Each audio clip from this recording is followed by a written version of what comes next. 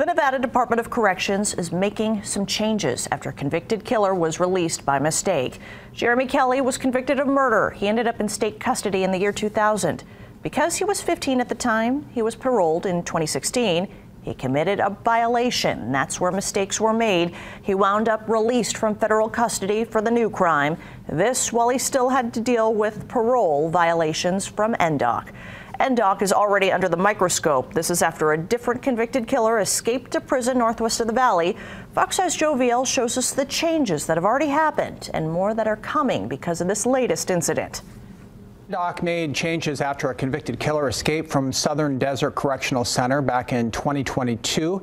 There was a manhunt when killer Porfirio Duarte Herrera escaped undetected for a few days using a dummy to fill his bed while he snuck past a watchtower to freedom.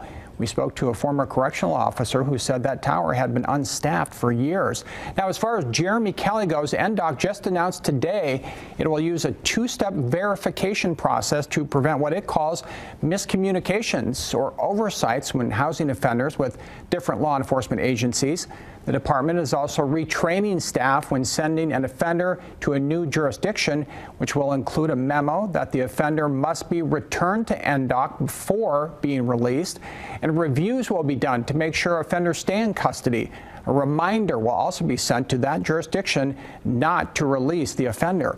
Now, Metro Police used license plate reader technology to track down Kelly and arrest him. That happened last Friday, and he is back in custody. For now, back to you.